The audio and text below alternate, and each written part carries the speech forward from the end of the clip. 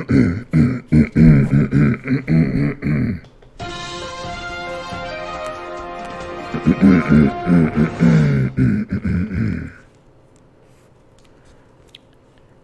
he- oh, hello there. How's everyone doing today? Thank you for the gifted subscription, Cobra X. Giving a subscription to Egoistic Lily. It's very generous of you, sir. Yes! Yes, I was just reading here. Just reading a book. Do any young people here know what this item is? Have you ever seen a book? See this? This is made of what's called paper. And they actually got this from wood of trees. You know the trees that grow outside?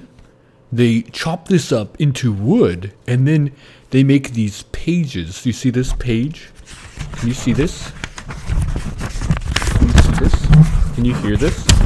These are paper pages, and then on them, they do what's called printing.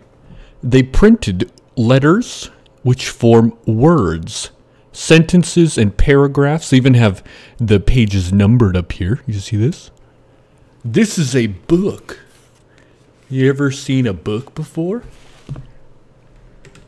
Hey, Jimothy. Yes, Homestar Runner, what is your question? Why did Neuro move from Texas to Seattle? Well, that's Neuro's business. But isn't it our business too, since we moved with him? Homestar, I already explained it to you on the drive. Do you not remember? Neuro said that he loves trees and he has friends and families up in this area of the woods. Neuro, he's kind of, he's kind of like an elves. You know, elves, they loves trees and grasses, branches, birds, these things. And Smeagol is very happy to be here because they have lots of fresh fish. Yes, Smeagol likes fish. They have cooked fish, which is not as good, but they also have raw fish, which is the best. A lot more fish up here than in Texas. Well, Smeagol, you are correct. Uh, we lived in Austin before, which is deep in what's called the heart of Texas. And uh, Seattle is on the west coast of Washington state.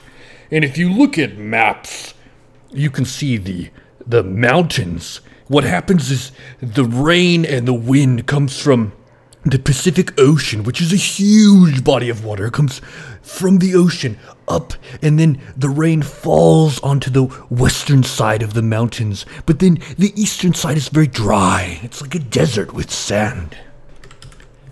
What does that have to do with anything? Oh well. Guess I'll live here now. Yes. Yes, this is where we will uh, have our business. It's great. There's fresh air. We can exercise and stay fit. Even as an older man, I tend to favor uh, lots of outside sports and activities such as rock climbing and base jumping. Sometimes I'll go scuba diving, but I don't actually have any scuba gear right now, so that's put on hold presently. But yeah, that's basically why we've all moved to Texas.